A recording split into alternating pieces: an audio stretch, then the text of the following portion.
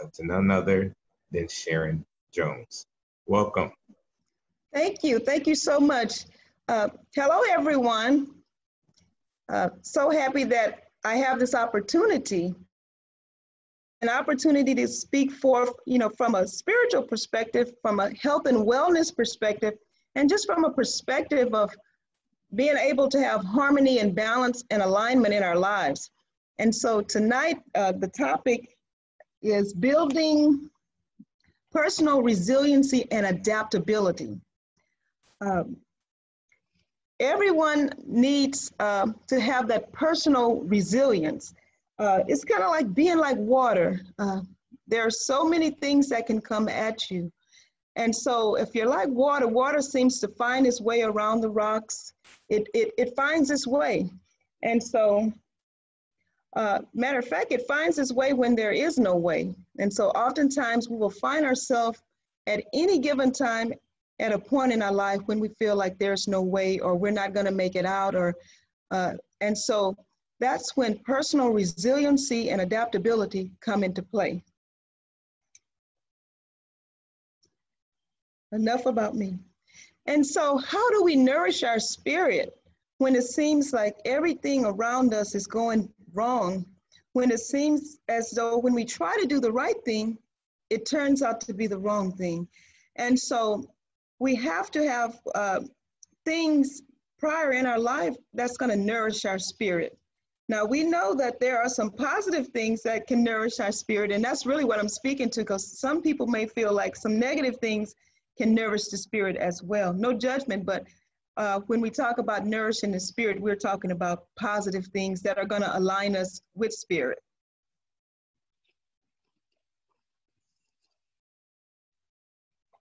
really, uh, when we talk about nourishing the spirit, we're talking about self care of the spirit. Uh, just like we nurture our bodies for good physical health, uh, we want to nurture, nurture the spirit. And that's not just on the outside, but from the inside out, from our core. And so uh, tonight I'm touching on spiritual health. Uh, we know that mind, body, spirit, and also community play a huge role in, in our lives. And so we're talking about spiritual health. Uh, a, a huge part of spiritual health is compassion. Compassion for self, compassion for others, having that compassion. Also having the capacity to love, you know, uh, you know, to have a heart that's driven by love. And another one, which is kind of tough for a lot of people, is forgiveness. You know, oftentimes something can happen, or we may feel like someone has done us wrong and we cannot move uh, uh, beyond unforgiveness. But all three are essential for spiritual health compassion, uh, our capacity for forgiveness, and also being able to have joy in your life. And you may say, I can't have joy because something terrible has happened to me or my family or things are not lining up the way that I want. But joy is a wonderful catalyst. And also striving for fulfillment in life. So we're talking about spiritual health.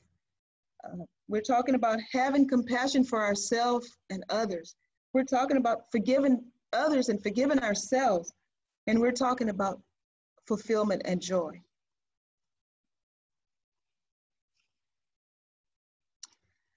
Now, oftentimes we can really clean up on the outside. We can wear all the fancy hairstyles, we can wear all the fancy clothes, cologne, and everything.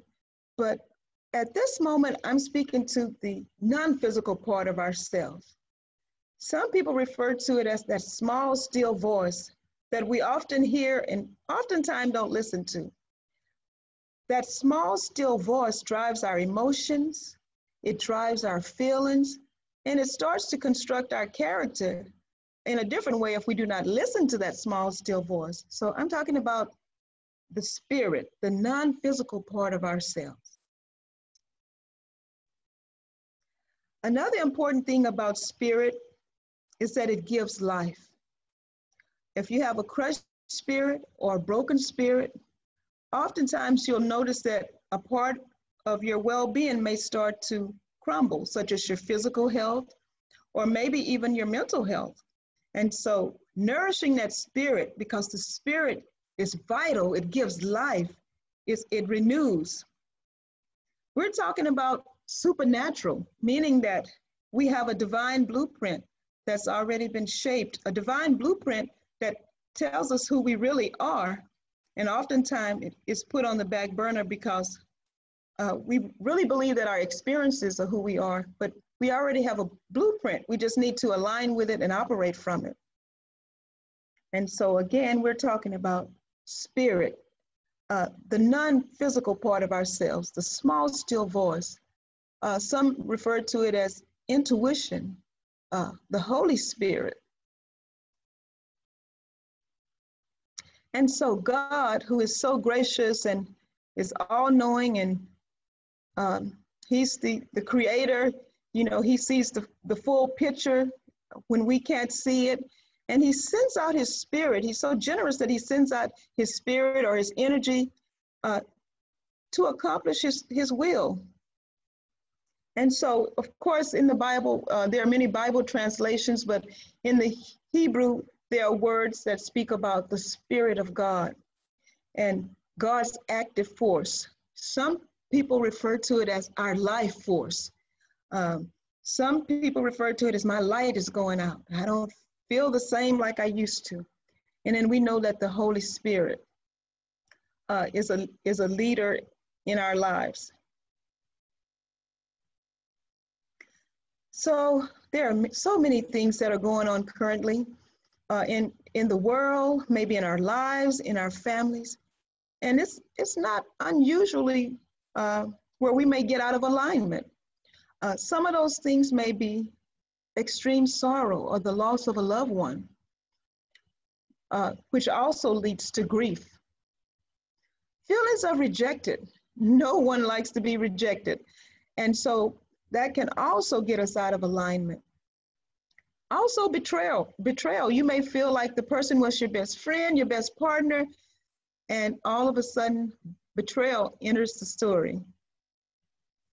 Oftentimes, we feel that we are missing the mark. We could have a PhD, two PhDs, we could have a successful business, we could have all types of people that loves us, but within our spirit, we feel we're missing the mark. And so all of that can lead us out of alignment. Alignment with our true uh, divine blueprint. Uh, also, three words, not good enough. Many people feel that they're not good enough. I'm not sure where the origination came, but someone must have spoken the words or some kind of way the feeling must have been picked up. And so, not good enough can lead to a lot of problems and situations. Also, being treated unfair uh, can get us out of alignment. Um, I see many of the uh, the protests, or if you want to say it, people are, are, are speaking out because they feel that things are unfair. All of that can get us out of alignment. And of course, it can lead to anger. There are many people who are angry. Uh, they, are, they are living with depression. And there's so much fear that's going around, and all of that gets us out of alignment. So there's the, the key is to stay in alignment, uh, to know who you truly are, and to know that you're good enough, and to know that uh, in time you will accomplish what you need to accomplish. Other things that get us out of alignment are what we call adverse experiences such as physical abuse. Many people are enduring physical abuse. They're also uh, dealing with emotional abuse. Uh, an example of emotional abuse is you can feel that you're doing everything you're doing to try to make things work, and then that person pretty much tells you you're not doing enough, that you'll never be anyone. And then what really makes it bad is when the when it goes, it, it's repeated and it's passed down generationally as well. Sexual abuse, all of these are adverse experiences that get us out of alignment. Physical neglect, which can come about from being depressed or having a lot of anxiety, uh, where you may not feel like getting up, uh, grooming yourself, or you may not even feel like um, leaving the house. And emotional de- neglect, where you isolate yourself, you're not around people, you don't really want to be bothered with people. And then, of course, we know about domestic violence, where you know there's that the whole fight or flight mode where you, you feel threatened, and then all of a sudden the honeymoon phase comes in, and things are okay, and then it escalates again. And so you can be repeatedly out of alignment.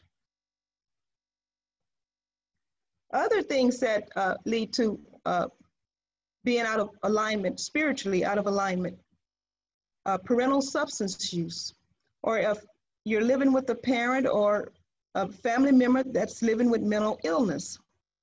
Also, parental separation and divorce. And of course, whenever there's a suicide or someone passes away, we, everyone uh, gets out of alignment. And other things to deal with are crime, or if a family member is in prison or incarcerated, all of these things get not only the person out of alignment, but the whole family structure, a unit, and the extended family. So these are all adverse types of things that we have to deal with. And so, how do you deal with it is the question. You have to have personal resiliency, and you also have to be able to adapt to change. Uh, many people say it's not the strongest of the, the strongest of the species that survive, but the ones who are able to adapt to change. Also, when we look at trauma, just to go back to trauma, trauma is about experiencing something that is so deeply distressful uh, that you are continuously disturbed by it. So again, you're out of alignment, you're out of harmony. So when we talk about inner distress, and at any given time, no one is exempt, you may receive inner distress. If your boss calls you in for your performance evaluation, distress might brew up. or if you feel like uh, there, there's going to be a reduction in force on the job, inner distress. Um, community violence, not being able to walk to the mailbox or not being able to be out after a certain time can all lead to inner distress. And so when the spirit is broken, it prevents the person from being able to receive the comfort that they need for this distress.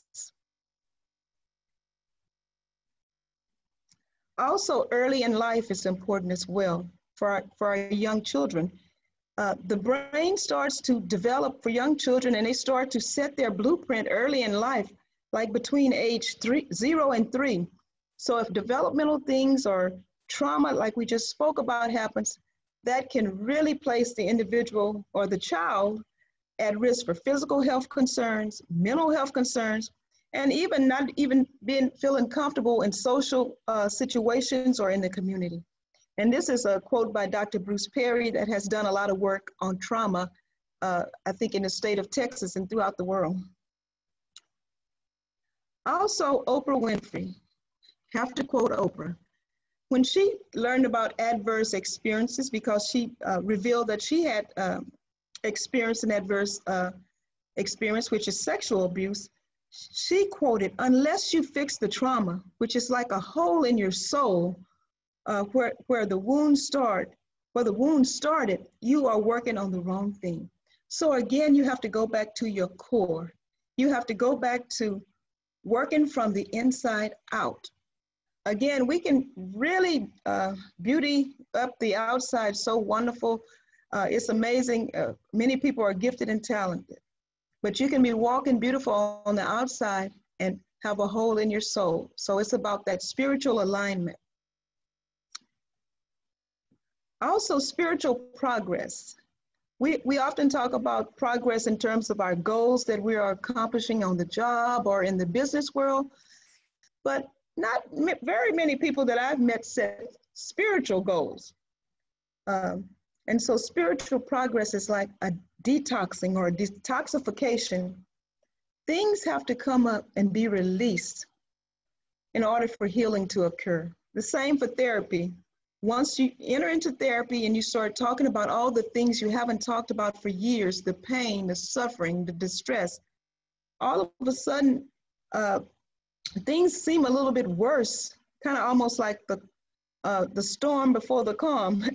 and so then uh, after you talk about it and it starts to release and come up out of you, then the healing can take place. So we're talking about setting goals for spiritual progress.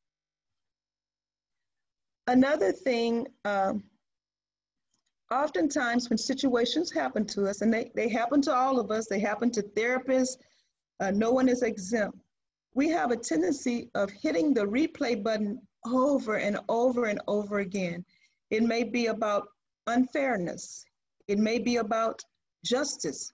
It may be about the loss of a loved one. It may be about the loss of a job. It, and so we have a tendency just to repeat it over and over and to replay it over and over. And so this is just a little quote that says, let it go. You know, what if this happens? What if that happened? I would, but what if this happened? And so oftentimes we never move forward because the what ifs have just taken us down. And so we must let it go. Again, release.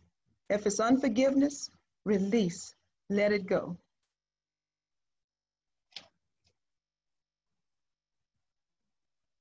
So when we are dealing with the what ifs, because they come up all the time, and they, they really do hinder us from even moving forward. So one thing about dealing with what ifs, uh, you want to really take note of those and, and choose a peaceful, peaceful atmosphere where you're not disturbed and start to write down your thoughts. You know, why do you have so much anxiety? Why are you feeling so disturbed in your spirit and, and in your core? And write it down so you can start to gain, a, gain an awareness about it. And take note of your thoughts. Uh, many people have learned when you change the way you look at things, things change. And what you think about all day, you become. And so those are some of the thoughts behind that. So what are the consequences of the thoughts that you're having? And of course, work to release. There's nothing greater than release. Even when the tea kettle is on the stove and it, it starts to release, you hear this beautiful whistle. So there's power in releasing. But after you release, also adapt and get some new messages. Messages that are going to help you, messages that are going to make you feel like you are enough, and, and messages uh, that really, really cause your life energy or your life force or your spirit to really flourish. So get rid of the what ifs and start to develop new messages for yourself Watch the thoughts that you're thinking all day long because that's what you become. And also watch your words because words are creators.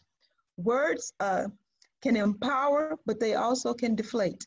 And so when you're having the what ifs, that's what it does. It, it gets you to a place where you're stuck and where you don't feel like doing anything. The power of resiliency the power when you fall down, you get up. I think Donnie McClurkin said, We fall down, but we get up. And it's been said in many ways, but what they're speaking about is resiliency, uh, the capacity to recover. And I'm sure so many people have gone through so many things and they're going through it daily.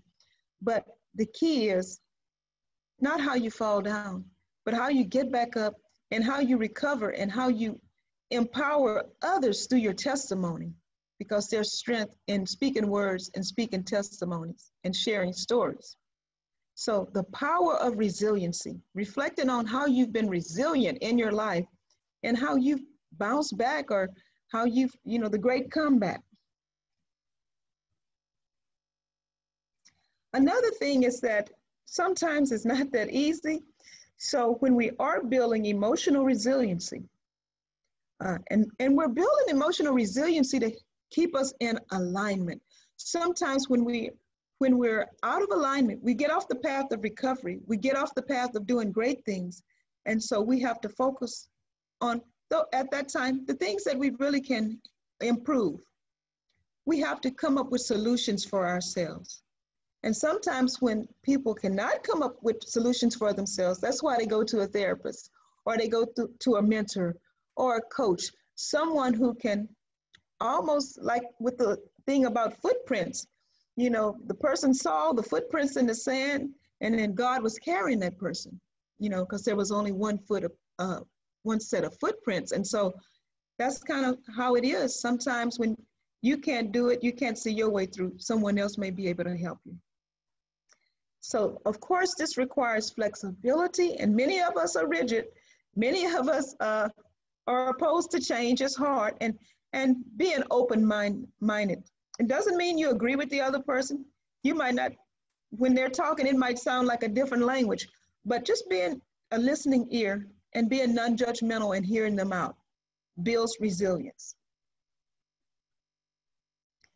Perceptions. We all have perceptions. We all have a worldview. One person might look at your shirt and say, oh, it's powder blue. Another person may look at your shirt and say it's royal blue. So we all have different lenses. And again, from age zero to three, that map and how we see the world was developing. And so it shapes our perceptions, how we see people, what we think of people, you know, uh, what we, uh, how we view the world, how we see events. Um, and so everyone has a worldview that we have to be mindful of because that's a part of emotional resilience as well. Hostility doesn't do us any good. Again, we have to be solution focused. We have to move away from unforgiveness we have to ad adapt more joy in our lives and more fulfillment and stay on a path of recovery so that we can stay in alignment. So again, forgiveness, negativity. Boy, negativity can be very destructive. You might notice even on Facebook, you can put a wonderful quote out on Facebook, you may not even get a like.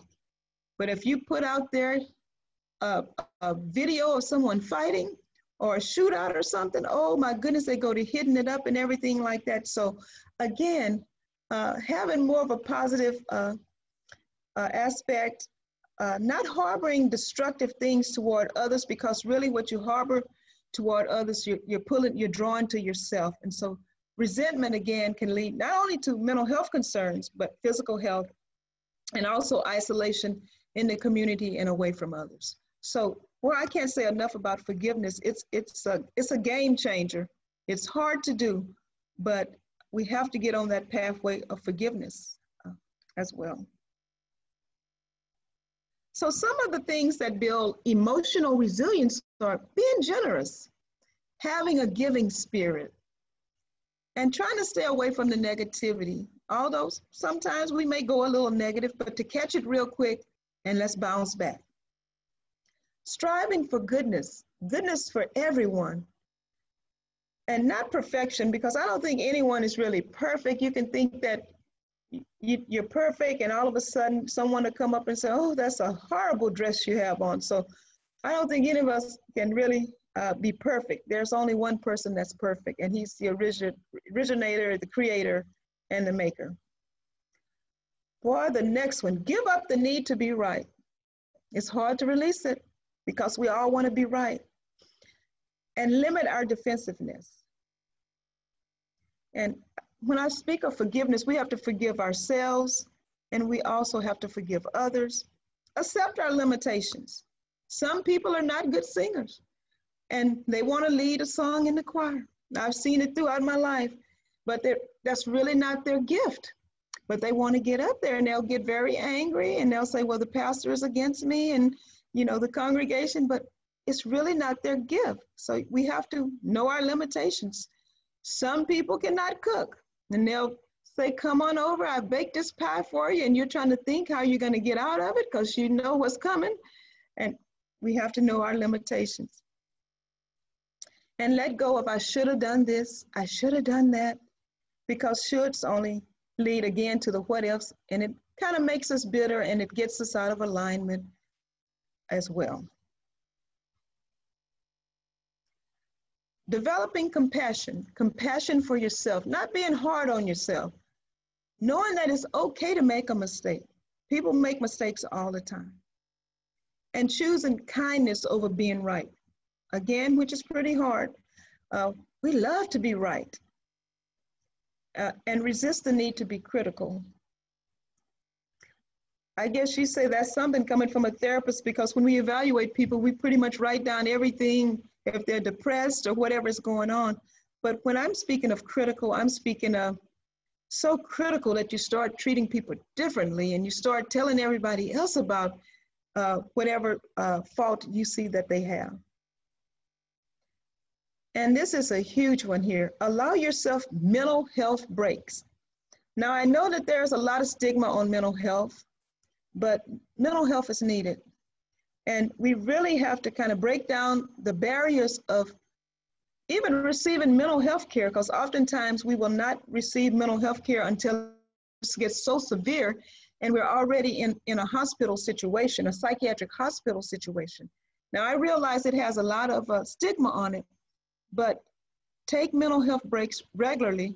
And if you need mental health care, please seek care.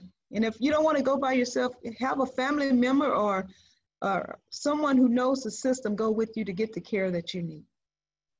So emotional resilience, being able to adapt to change, being able to fall down, but to get back up, being thinking that you're less than, but getting on a pathway of knowing that you, you are enough and you're good enough. So taking care of your mind, which is very important, I kind of just talked about that. Taking care of your body and, and also your spirit. It's, uh, spirit is so important. Eating well, that's another tough one. I mean, you can just drive in and get a little dollar burger as opposed to cooking in a hot kitchen, but the goal is to eat well. Also, exercising, you know, nourish, uh, nourishing your body temple, you know, getting up and walking. You don't have to be on the elliptical and all of that, but, you know, maybe taking a daily walk. And it, it doesn't have to be for five, ten miles, maybe just around the block, something like that. And another essential thing is uh, getting enough sleep oftentimes when we're depressed or we have a lot of anxiety or a lot of things are going on, it can Im- impact our sleep. So the goal is to get enough sleep because if we're not sleeping right, it can also lead to problems as well.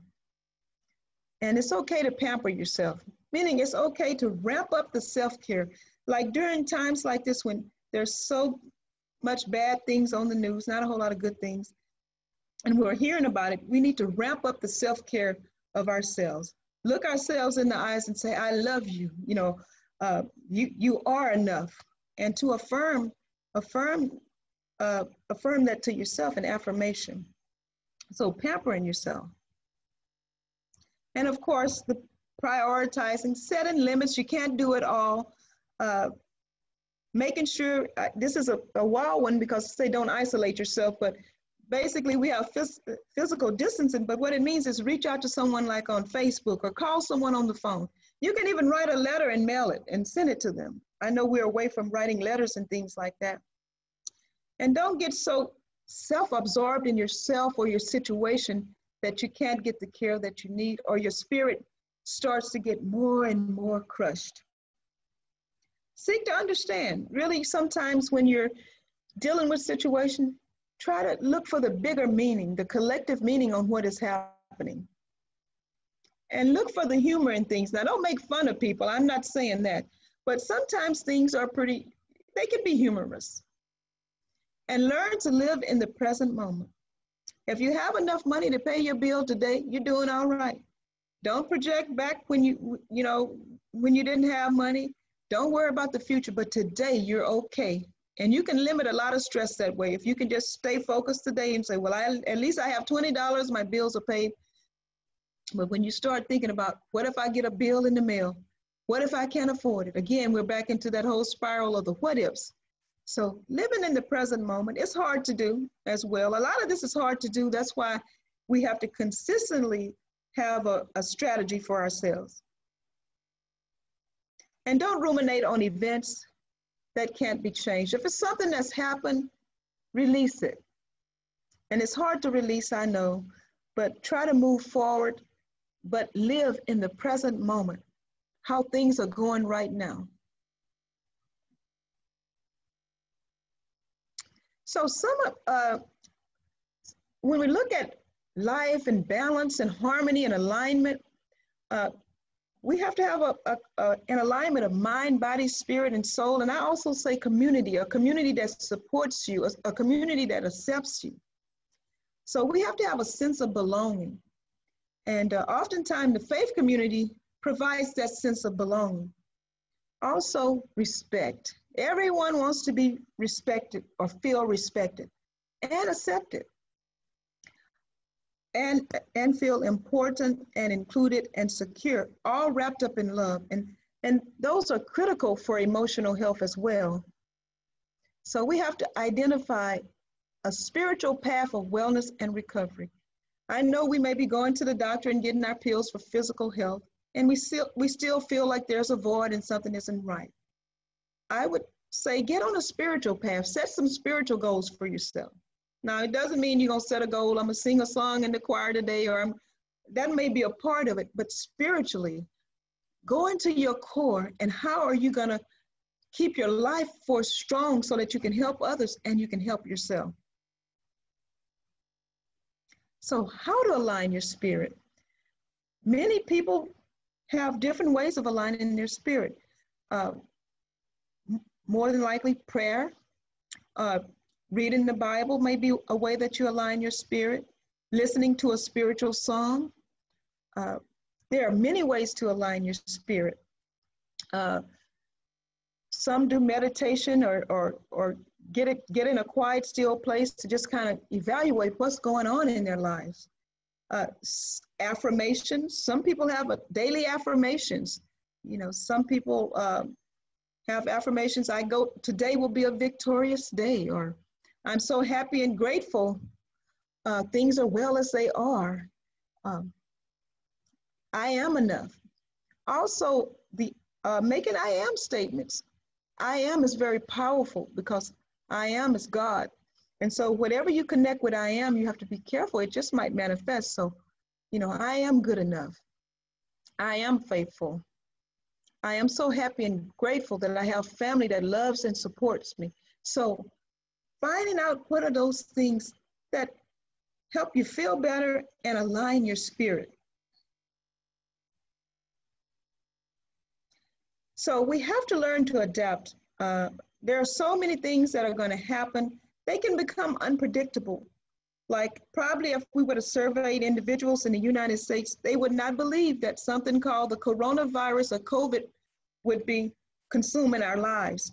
So when things like that come, how are you going to adapt? How are you going to adapt to the change? Uh, here's another quote Intelligence without ambition is a bird without wings. So we have to adapt. Some of the ways that we're adapting currently, we're wearing all, we're wearing masks. Uh, we're using so much hand sanitizer. We're washing our hands and we're washing them again. We're washing them repeatedly. We're staying away from people. Uh, the six uh, six foot rule. And so all of those are adaptations so that we can protect ourselves so that um, we can be okay. So adaptability, uh, again, it's not the strongest of the species that survives, but the ones who can adapt to change and who can really help themselves. Another part of this is surrender, the power of surrender. Some things we just have to cast on the Christ within and go free because if not, then we go back to the what ifs. We go back to I'm not enough. I'm missing the mark. I should have done this. I should have done this. They don't like me because they're treating me this way. So we have to surrender. Surrender is another gift. Forgiveness is a gift. Surrender is a gift. Living in the present moment is a gift if you can. And all of these things are cultivated through having daily spiritual practices to help the spirit being, which is that's what we that's who we are. So again, sometimes we have to hit the pause button. And surrender, in order to surrender, you have to be aware that there's something you need to surrender. I have to say that as well. So we have to keep our focus, be diligent, and also remove the doubts. We have to overcome the doubts and just trust, trust God uh, and surrender that he'll work it out. Like they have this gospel song, my five-year-old niece sings. She say, won't he do it? You know, the people will wonder how you how you sleeping at night? Won't he do it? So we have, when we surrender, we can have that testimony. So when we surrender, it's not a weak thing. Uh, we start to expand um, the more we surrender. And the more, and living from a heart space, there are going to be so many experiences and so many things that's going to come towards us. But if we live from the heart space and do no harm and practice forgiveness and practice love and want to see people do well and, and be joyful. So we want to live from this alertness of that stems from coming from a place of love. And we know that love is the greatest of all, that a person can pass away, but the love is still here. And so love is very powerful and also forgiveness. Faith, the soul's belief in the divine's existence, its wisdom, its power, its love, and its grace. Faith is total confidence and respect for all people, all things. Even faith in your spiritual teachers. Sometimes we can go to a spiritual community and we hate the leaders in the, up there because we feel we know better. But have faith in our spiritual teachers. I think that they are appointed of God because they go through a lot, they have a lot to deal with. When you are responsible for the soul of a person, that's a whole lot because we know a lot of the issues flow out of the soul or, or being of the soul or the spirit being out of alignment. So having faith in our spiritual teachers. Now we know everybody, you know, no one is perfect and no one is in perfection, but and also the teachings as well. And have faith in yourself that you can do better. Patience, that's another one. I'm supposed to be working on patience for the, I think it was for the year 2019. I don't know how I did with it. I probably didn't do very well because I, boy, I get, ex, I get revved up, but faith and patience complement each other. You know, without faith, you can't, you know, it's impossible to please God, as we know. You know, and faith is the substance of things hoped for and the evidence of things unseen. We want to see everything. Um, and patience allows things to unfold naturally. Right? Most of the time we're rushing things. Even when we're cooking a meal, we're like, that, that should be ready already. And so patience is believing that whatever you need will come your way at the perfect time. Again, living in the present moment, uh, realizing that if you do get out of alignment, you can get right back on the road of alignment uh, as well. So how do we step into this new beginning? Because you're probably saying this lady is talking about all this stuff, you know, like she knows or whatever. But I would say when you get on the spiritual path and, and you're truly honest and authentic about the spiritual path, new mercies come each day. You can see them already. Like if you woke up this morning and you didn't have the COVID 19, you're okay. Even if you had it and you were doing well, that's a mercy. So grace and mercy, new mercies each day, stepping into a new beginning. You know, the number eight signifies a new beginning. And so we all can start right where we are here today and choose to have a new beginning. It doesn't matter what has happened in your life because, again, things are going to happen. We are going to have experiences, some that we like and some that we don't like. Uh, uh, as you know, I'm a licensed therapist, and the name of my practice is Alabaster Moments. And the reason I named my practice Alabaster Moments is because there was a woman in the Bible who she was seen as probably less than, but she had this alabaster box and it was filled with this precious, precious oil. And she gave all that she had. And by giving all that she had, people are talking about her even today. It's been millions of years, and people are still talking about that alabaster box and how this woman gave all she had. But they were looking down on this woman as not good enough, less than, missing the mark. She should be doing this, she should be doing that. But that one encounter has been talked about by so many people. And so, new mercies each day can lead to the new beginning that you, you desire. And so, Again, speaking power words. Uh, if you're speaking, you might as well speak something that's going to make you feel better and something that's going to anchor you and something that you can go back to when, when, when it does get a little rocky and bumpy. And so some of those words might be peace, it might be family, it might be energy, it might be integrity, it might be love, it might be create, whatever your words are, and words are creators, by the way. And so, but having those power words, speak power, uh, you know, speak into life. You know, the Bible says you can decree a thing and it'll happen. So those words, and matter of fact, the whole universe was spoken into existence. So learn about speaking those powerful words for yourself. Uh, don't and, and and remember to hold on to faith, walking by faith, not by sight. So I don't care how grim the situation is, you start declaring and you start decreeing and you start speaking it. Uh, when I was living in Oakland, all the youth would say, Speak on it.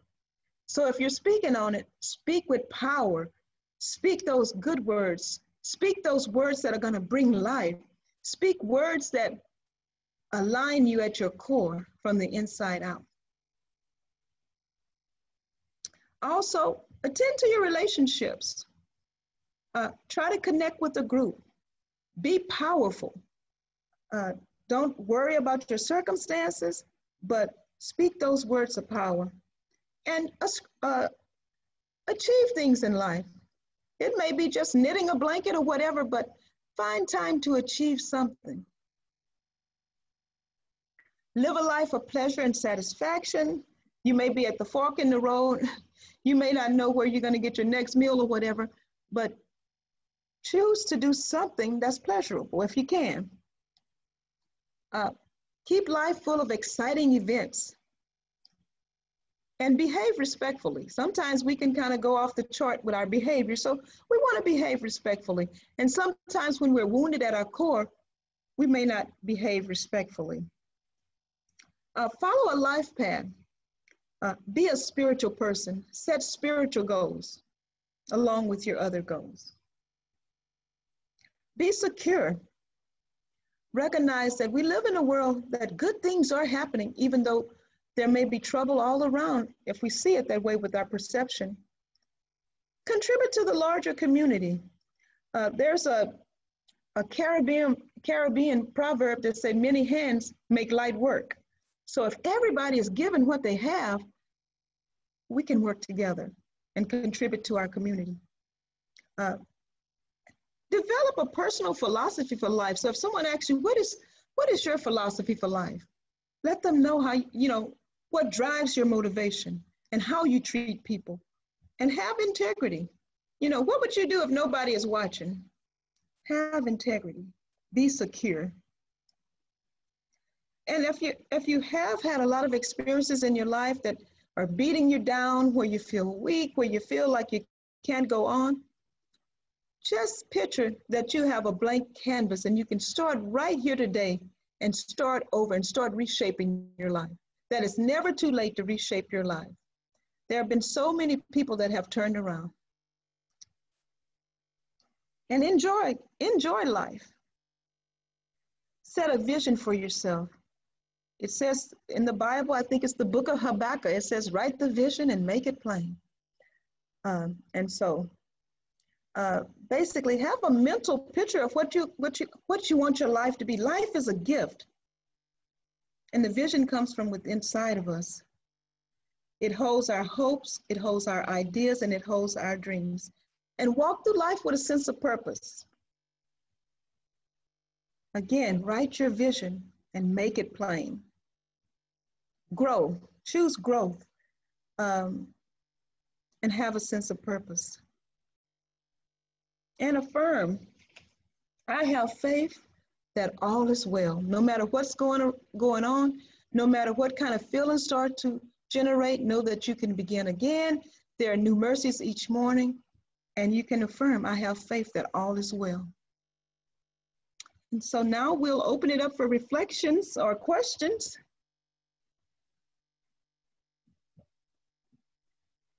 Yes. Um, first of all, wow. Uh, uh, Sharon, this has been awesome. This has been a lot of very insightful yet practical information.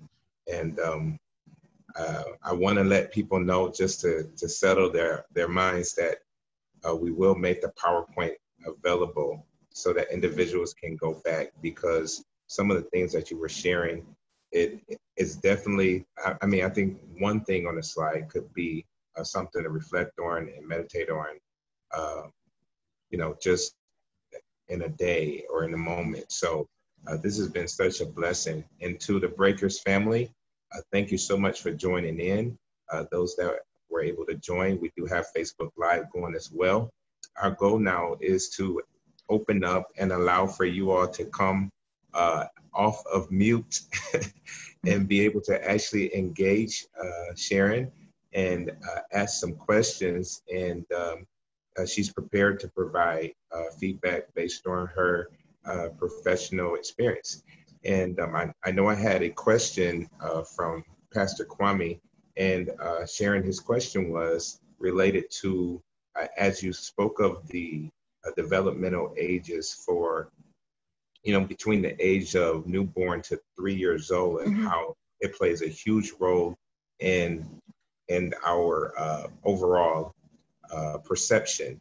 And the question is basically, what what do you do when something happens between that time frame, uh, say a trauma or a tragedy or something like that? What is the advice or hope for individuals who uh, maybe have had things happen in their lives to, to, infringe upon how they see uh, things presently? Uh, yes, I can answer that. The World Health Organization says that the earlier that a person gets treatment or gets assistance, the outcomes will be more positive. So there are going to always be situations that happen, but the earlier you get a person into care or you, you get them into interventions, then uh, the outcomes can increase and get better and more positive. So uh, oftentimes what happens is individuals don't get the help until later, later in life. And um, uh-oh. Are we okay? We did that intentionally. Oh, okay. I'm sorry. Yeah, so people can like, just look at you now. okay. okay, I saw all these people. I'm like, what, what went down? Okay. So, so basically, feeling okay to get help as soon as it happens. Now, there are some situations when, you know, depending on the situation, but the earlier you can get some help, and not only just getting the help, but also incorporating those strategies into the family so that the whole family can work on getting better. Uh, there may be one encounter or one, one adverse event that happens, but bringing the family together uh, in, a, in an early intervention type of way to get the treatment and to get the help. And oftentimes that's the best path to take, but oftentimes people wait late for various reasons. And, and again, there is such a stigma with mental health care where uh, as in the African American community, we, even with physical health, we're almost at the verge of checking out before we go in. Not all people, but for the most part, because uh, that's another whole training, you know, the fear of medicine and, and uh, racism in medicine and the Tuskegee incident and all of that. So, but uh, the short answer to his question is the earlier you get in to get help, uh, the better your chances are. Thank you. Thank you. Uh, well, listen, um, you know, you all have the ability to unmute yourself. I would love for Sharon to be able to have a person to person interaction with the, uh, who I believe to be one of the most phenomenal groups of people on the face of the earth. Mm-hmm. And so if you have comments or if you have feedback or questions, please feel free to chime in at this time. I'm user friendly. You can ask me a question. I don't know it all. If not, I'll put it in the parking lot and look it up. Yes, go ahead, Apostle Sandra. Hi. Um, thank you so much. This was just a very powerful presentation um, and following up on, on Apostle Aramis's comments, I look forward to receiving the PowerPoint because although I was taking notes, um, so many of those slides and the, um, the information, the points that were made are just a pause point they're like a Selah, you know, pause and calmly think about that. And yes. so uh, look forward to reflecting on that on that some more. I have no question, but I just really appreciate um, this this very, very wonderful information. Thank you. Thank you. Thank you, Apostle Sandra. Um, I'm scrolling through the list of people who are actually on the call, and Okay. um, I, I want if if I don't get enough uh, volunteers, I'm going I'm going to Oh, my nudge goodness. You're gonna go to calling on them? Oh my goodness. Yes. Uh, uh, listen, Evangelist Michelle looks like she's ready to say something. Okay. Amen. No, I just want to say I, I appreciate um, you setting this up uh, for us. This was very timely. I would say for me, some I was actually having some of the things that we discussed, the conversation um, over these last few days, and even just recognizing, you know, within myself some of the things that um, are going well, but also some things that still need to be Yes. addressed. So Yes. yeah, I was like, wow, I didn't really know what to expect, um, you know, coming in, but this was awesome. And so, one question I would ask um, my family and I, my husband and I are separated, Mhm. most likely looking for divorce, Yes. headed towards divorce, and just kind of wanting to um, know maybe some things I should watch, like maybe for my children. So far, we, we seem to be doing, you know, okay with the Mhm. transition, but just Mhm. not going, having gone through this before, what would I like need to be aware of that you Well, would say? fir- yes, first of all, any, any noted change in behavior for your children, like if they're not eating their favorite food or something like that, or they're isolating, not playing their little games, or not wanting to do this, uh, any noted behavior like that, uh, things like that. Uh, also, more of the nonverbal too, like uh, if they're kind of low in energy or, uh, you know, getting more tearful or sad, you know, sad real quickly and things like that. And also anger. If you notice that they have a short fuse, things like that, you want to pay close attention to that as well. And, and another thing about separations and divorce, uh, that's where forgiveness really comes in and, and um, kind of reestablishing your, your sense of purpose and also making sure no matter what happens, you still uphold the dignity of their father, even though it may have not worked out Amen. but you still in front of your children or you be authentic and just still uphold the dignity and the and the, the strong parts of, of that individual even though you may not be going to be together and you still work to uh, strengthen uh, your children so that they stay on the uh, pathway of alignment and you're you're readily there for them Amen. Thank you. Excellent, excellent. Uh, great question, uh, Evangelist Michelle. Um, anyone else? I think we've got the engine uh, turning. Uh, okay Sapphire, I see your hand. Go ahead. I'm sorry, I'm driving. Um, my question is, can anxiety? I guess I have a daughter, so I'm. I can it be hereditary? I guess I noticed like some of my, um, some of the anxiety that I still kind of deal with as an adult, and that I dealt with as a child. I noticed like she has some of that same anxiety, especially like when it comes to being around like a lot of people Yes. or uh, you know older men or whatever the case may be. Like, can it be hereditary or is it learned or how does that work? Uh, there are uh, there are quite a number of views on it. Uh, environment. Um, we all have genes and cells, and uh, sometimes certain behaviors uh, can activate the the cell or the gene. Um, it can be passed down generationally, and sometimes it skips generations. But there are many factors. But the thing about mental illness is that it's a brain disease. Just like your pancreas, when it gets unwell, you have diabetes. When your mind becomes, when your brain gets unwell, uh, you can develop a, a mental health concern. For example, there's a, in the brain, there's acetylcholine, which is the brake pedal of the brain. And so when that is not working properly, when you can't put a brake, your thoughts may just be racing and going back and forth. If there's not enough norepinephrine and dopamine in the brain, that means that it's like a short circuited fuse, and you can either start to feel in- depressed and have the lows, or you can start skyrocketing with the increased energy. And so, again, mental illness is about a brain disease. Uh, and, and since your brain is not, uh, the neurotransmitters are not firing and, and transferring the chemicals the way that they should, then that's when you can have the more, more energy and the anxiety. Or you can even go into the thoughts that are not true, uh, you know, loss of contact with reality. It doesn't mean that you're not an educated or intellectual person, but basically it's a brain disease and the chemicals are not firing right. And so it's manifesting as depression, anxiety, and also environment plays a huge role as well. Uh, like for veterans, when they get in high impact situations, it act, it could activate, you know, uh, mental health concerns as well.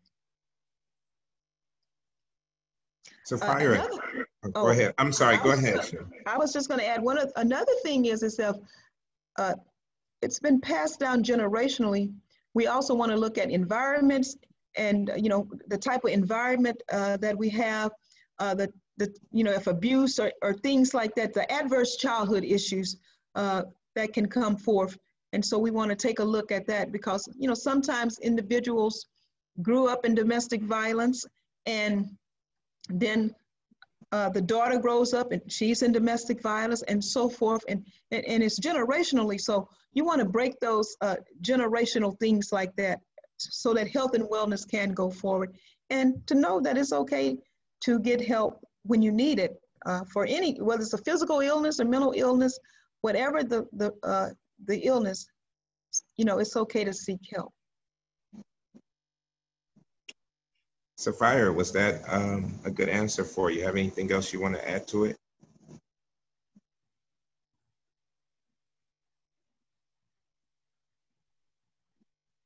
She was driving. She must have hit she was driving, yes. Yeah. she must have. be mindful. Her signal must have went out. Yes. Well, um, I do believe that that was. Oh, that was great. Thank you. Okay, she's back. She was back on. Excellent, excellent. Yeah. Uh, thank you so much. That was definitely a very insightful uh, response. Anyone else want to share, um, or anyone else have any questions?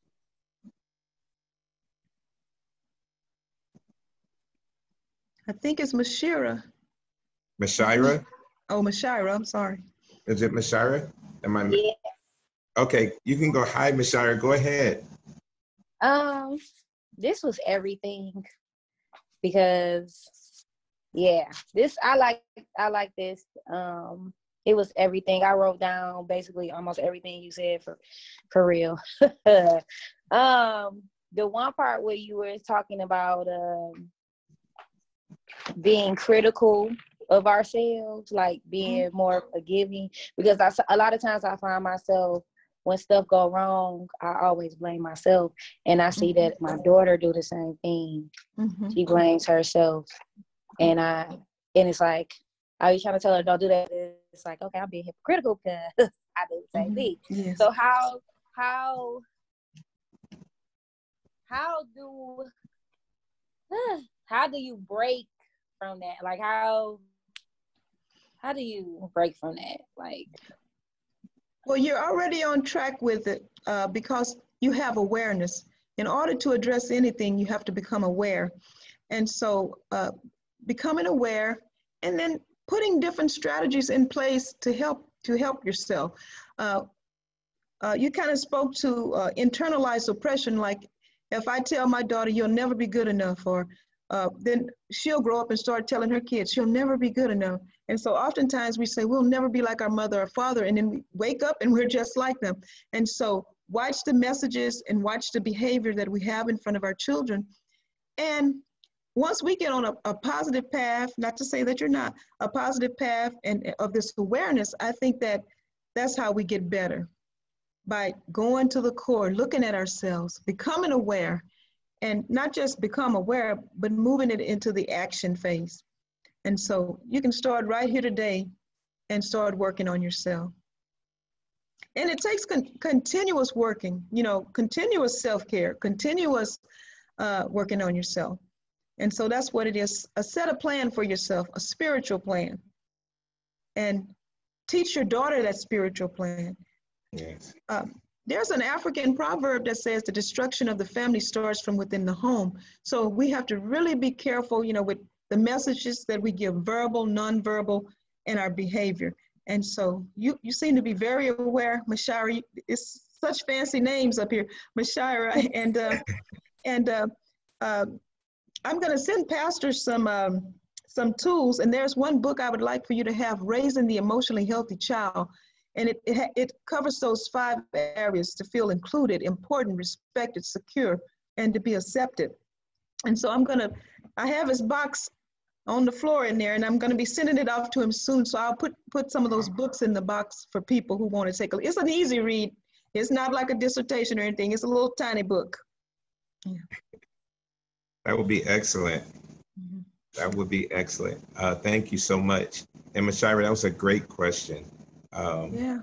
I, I'm, I'm, i know it resonated uh, with everybody um, that has children and cares very much about making sure that they're putting the children in the best position to succeed. Uh, we yes. have a, another hand from the Francis family. Um, okay. You can go ahead and share. Hello. Hi, how are you? I'm good. Um, just a quick question as far as uh, trauma. You mentioned trauma earlier. Um, yes, yes. Trauma.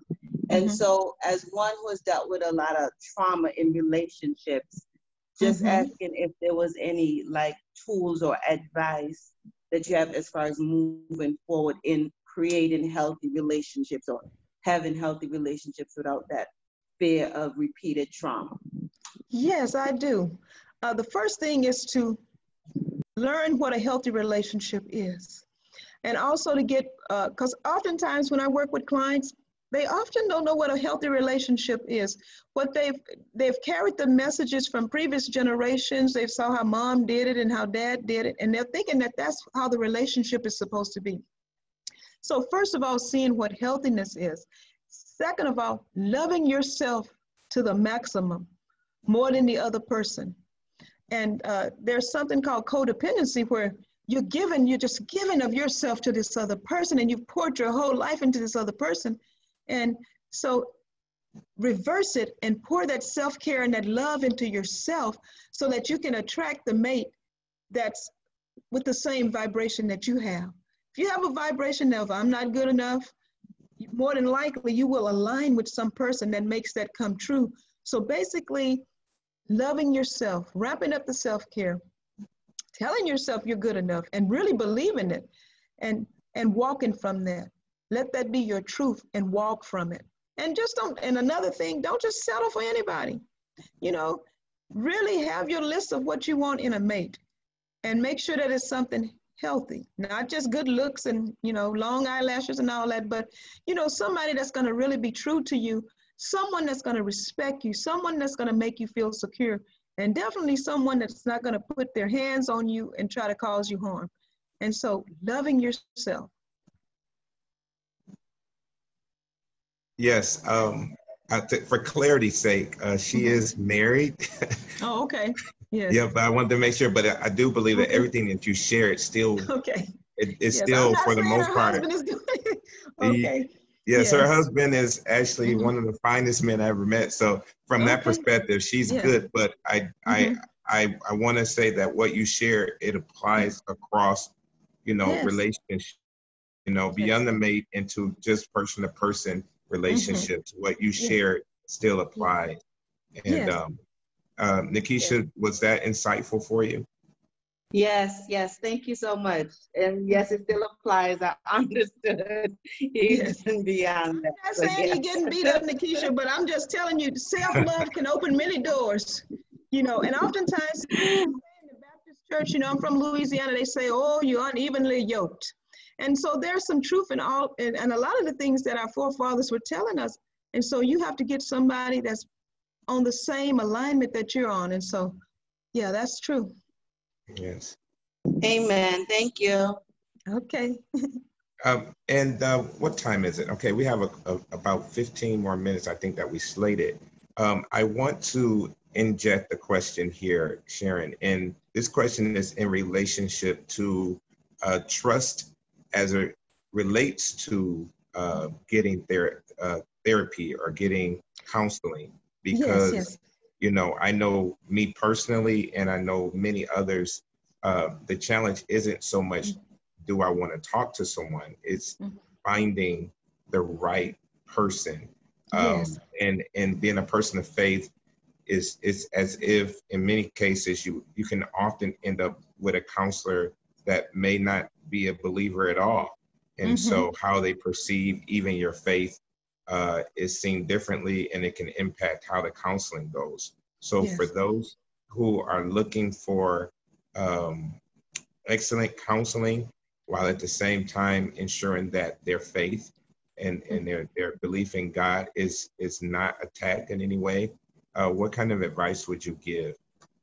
Well, first of all, there are therapists that um, you know that are faith-based, but you know there are also different levels of faith-based. But I would say uh, having that honest talk with them and, and letting them know what the expectations are, letting them know, uh, letting the therapist know, you know what you're looking for. And usually, when you're seeking a therapist, there's like a little initial screening and in that initial screening you let the therapist know that person know you know i'm looking for someone who you know believes in faith principles or believes in god and uh, and believes in utilizing spirituality as a resource uh, because there may be some because for years you know the whole mixing of church and state and you couldn't use anything spiritual but here in the state of california we had a survey that went out a few years ago, and most of the people that were seeking services put spirituality as the top resource.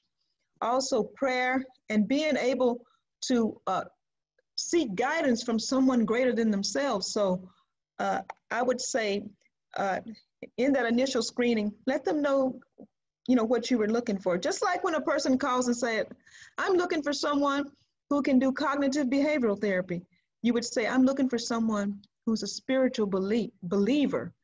And uh, I'm a Christian and, and who believes in uh, Christian principles and, and Christ consciousness. And so you would, you would want to just be upfront. It's a little scary because, you know, a lot of these systems are hard to navigate, but just be very, uh, you know, put it out there and make you a little list. This is what I want in a therapist. Because just like in all professions, some are good, some are mediocre, and some are outstanding. And so you want to really think it out and navigate the system and and also look at the reviews. Oftentimes therapists have a little profile on psychology.com or whatever, and you want to see what people are saying about them. If 10 people say, oh my God, I'll never go back to him again, that might be a red flag. But I would say start with your list of what you want in a therapist and move from there. And if you you know, if you're courageous enough to call up and get a screening, just let them go from your list, bullet one, bullet two on through. And to know that it's okay to get uh, uh, help from a therapist, it's all health care. For years, they've separated the neck from the body, but really, we're going to have to connect it back because the spirit is in the body, and there's no way the mind can work if the spirit is not connected to it. Well, yeah. all right. Amen. Yes. Hey man, that was an excellent answer uh, because I, I, know that you know just knowing that going into it, you can go into counseling from a place of strength, and mm-hmm. and not necessarily from a place of complete yeah. uh, desperation, or yes. uh, because that that desperation often causes you to settle for for for anything, and yes. to know that it's okay uh, if you have the strength and the and the fortitude to lay out the things that are important to you that those yeah. things should be presented and those things should be researched out from the beginning. I think that's amazing. Uh. Looks like we have someone from the Francis home again. Uh, okay. Uh, and so uh, go ahead. You're on the air. well, thank you for taking my call. Uh-oh. this is Kwame Sharon. Thank you so much for this presentation. It's really insightful and very timely and very, very helpful. Um, one of the things that I would say is um, just navigating mental health. First of all, you mentioned the, the stigma, but mm-hmm. it seems like it's very difficult to find. It's, it's almost like it's an underserved area. Like there's a yes. lot of um, gaps in terms of finding a good therapist or psychiatrist or what have you. Mm-hmm. So for people who, first of all, you you work up the courage to, to reach out to to, for mm-hmm. mental health. And then you run into these um, roadblocks from somebody who's, you know, put themselves out there to, to seek it mm-hmm. and then you know, and, and even in the in a COVID era, it's you know there's a lot of backlog and people are not taking new new patients. Um, Yes. Any advice whether whether it is to um, seek online or virtual visits or what have you? Any advice you would have for that individual who, Uh, who want the treatment but have roadblocks? Here, here in the state of California, the State Department of Healthcare Services uh, allow for uh, telemental health. They also are even approving telephone therapy now because uh, to, to reach to those outlying areas and communities. And also in, in many communities, transportation is a barrier, is a huge barrier. And so uh, just coming up with strategic ways. Also, uh, lots of time the faith community is like a first responders where people go and having individuals who can be like uh, peer support in the faith community uh, to help people as well. Now we know that there are different levels of, you know, that people might need, but building a community of um, peer support and and helping individuals. Uh, but health, and in some communities they have health navigators because, you know, it can be a, a kind of like a bureaucracy, and um, not knowing what type of insurance. Sometimes people go all the way and they make it, and then they say, "Well, we're not taking your insurance." But again, uh, having someone to help you research on the front end, and that way you won't get to the roadblock because if you know that if you go through all of that, that you're not going to get um, the care that you need, then what you would do is maybe uh, select another option. And I, I also No, recommend uh, like the suicide prevention hotline or uh, uh, National Alliance on Mental Illness often has a lot of peer support and help throughout the United States. So if you can't reach a therapist, you can always re- reach um, some of the hotlines that they have set up for uh, with peer support and to help uh, to help uh, help you get information. And so again, uh, to be, kind of build the toolkit and to build a resource list uh, for people to know who to call during this time. So if you can't get into a therapist, um, the research shows that if you can just talk to a person, if you're feeling real bad or whatever, uh, if it's the right person, then your mood will lift until you can get the therapist. So uh, additional uh, things in your toolkit, such as the different hotlines um, where you can call and a person can kind of talk to you and hear you out. They even have a lot of spiritual uh, hotlines that you can call as, as well. I don't know if you have one at the church, but if you had volunteers, you could set up a, a hotline uh, where uh, volunteers can volunteer and, and receive calls from individuals. And so the church is a community within itself. And there are many strengths within the body of uh, the church. And so pulling together uh, the village approach and helping individuals. And I know the confidentiality and all of that, but on a basic level, setting up uh, avenues for people can, you know, get information, such as this. All right, excellent. Helpful, uh, Pastor Kwame? Yes, that was very helpful, and uh, we got to work on setting up that list of resources. I added Yes. that to, to a list of to do. So yes, that is very helpful. Yes.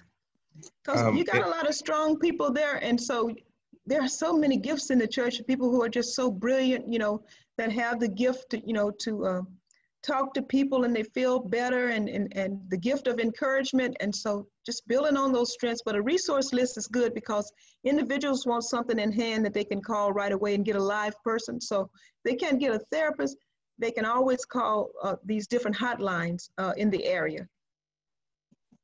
Yes, and and that is definitely, like Pastor Kwame said, very good information. Um, I want to uh, introduce Pastor Kwame. He is actually um, the assistant pastor of the church, and oh, uh, okay.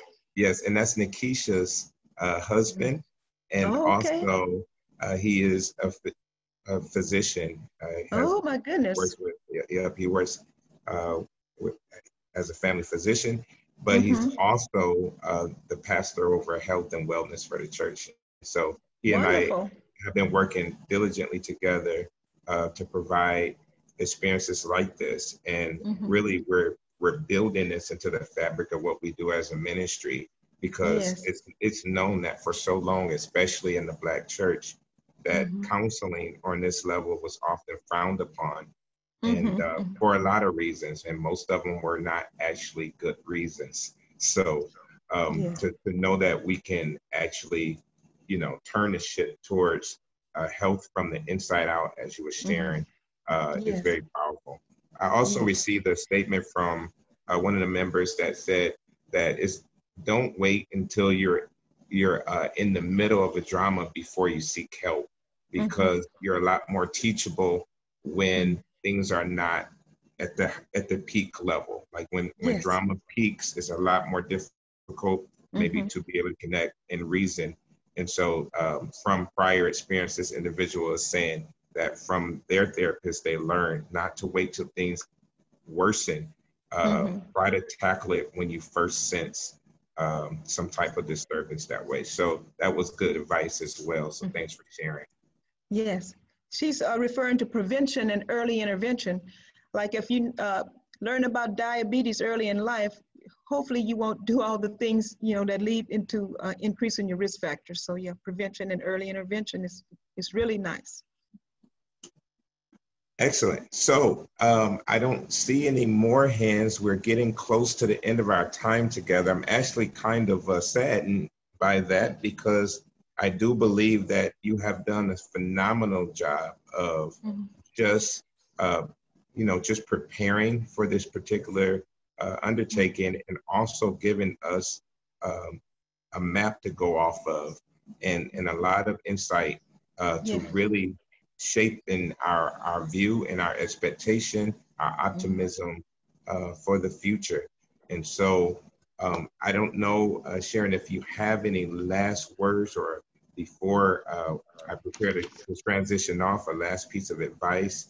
Um, the hope is that we'll have you on again. Uh, Yes. But is there anything you'd like to share uh, Just, just, we? just one thing, um, uh, a quote that I usually uh, use in uh, whenever I'm presenting is by Dr. Albert uh, Schweitzer, and his quote, this is paraphrased, says that you know, don't be shocked, um, you know, like when your spark goes out, that another human being may just uh, come about and ignite that spark again. So, uh, you know, I feel like we all have that capability to reignite uh, the spark of the human spirit and uh, make sure that everyone is walking on one accord and in alignment. Yes, yes, well said. I actually looked at the uh, your bio and I didn't read it because I didn't have it up before my face, but I believe it's the last statement. I'm going to read it. Yes, Um, read it. And, and it says this At times, our own light goes out and is rekindled by a spark from another person. Each of us has cause to think with deep gratitude of those who have lightened the flame with us within us. And um, I, I so in my life as a, a shepherd, 18 years, I, I can so resonate with that statement, uh, not only from the standpoint of the one that that offers the support, but how often someone has ignited or reignited uh, my flame um, so that I can continue on uh, in what God has called for me to do. Just today, I received a very thoughtful note uh, from someone that's been watching from afar. And uh, they also wrote a check and gave an offering to the church and said, I know that things are difficult and I know you work in sometimes impossible situations, but I want you to know that you're appreciated, that you're loved, and um, that we're praying for you. And that was the highlight of my day. It, it, it was there to start my day. And just like that, my flame was brightened all the more. And so it is definitely true that, as you said, if you are in between uh, that time of actually connecting with a licensed, a professional, certified therapist, that get around people who uh, represent light and strength in your life, people who have a positive uh, attitude and and and a, a, that carry uh, God's spirit and and provide for safety and refuge uh, and counsel, uh, so that you can get that added fuel to keep going. We all need it, and so um, and Sharon, uh, we all need people like you. Uh, so we thank you so much for being with us. We thank you You're for quite taking welcome. of your time. This has been phenomenal. And I can't wait to hear feedback from the ministry beyond um, the Zoom call. Uh, people are clapping on the mute and they're lifting their hands. They're excited. They appreciate it. And uh, I wouldn't be surprised if we have to have you back really soon. Okay. Well, when the Yes, so- praises go up, the blessings come down. Yes, yes, yes. yeah. Uh, hallelujah. So I'm going to close out with a word of prayer and then we'll finish. And uh, thank you everyone for joining, whether you join via Zoom, whether you join via uh, Facebook Live. We appreciate you joining in and um, we, we're wishing for the best for everyone. Let's pray. Heavenly Father, we do honor and thank you for this day. Truly, this is the day that you've made, and our souls, our spirits rejoice, and we're glad in it. We thank you, Lord, for uh, just your plan. You had this day in mind from the beginning of time for those, oh God, that would be here to, to listen. And we thank you, God, for the impact. We thank you for the encouragement. We thank you, Father God, for the insights that we've all received to meet us in our place of need so that we can have the fuel that is necessary to continue to go forth with, with strong uh, commitment, with resilience, and also the ability to adapt, not, not to allow uh, the circumstances and the challenges that come to all of us in life to get the best of us, but through your strength and through the guidance that you provide to be able to overcome every hardship and every difficult situation and experience the life that you promised to all those who love you and keep your commandments. Our prayer is that you would lift us all, that you would nourish us all, that you would build us all in the area of our emotions, in the area of our innermost being, that we can be honest within ourselves and also open to those that God, you are prepared to be strength and guidance to help us to become our best version of ourselves.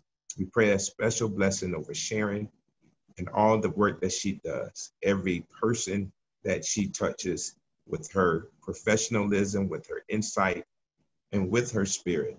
We pray, God, that for every person who who gives of their their all, that that alabaster spirit, that Lord, that you would use her to lift such ones who are marginalized, disenfranchised, and altogether overlooked, that they too can rise from the hardships and the darkness of their experiences and experience the benefits that you bring. And we thank you for your love and your power to accomplish what we pray in faith. In the name of Jesus, we pray. Amen. Amen. All right. Praise God. Okay. All right. Well, this has been amazing. Thank you again. Thank you, Thank Brave you for Friends, and having me. everybody that listened.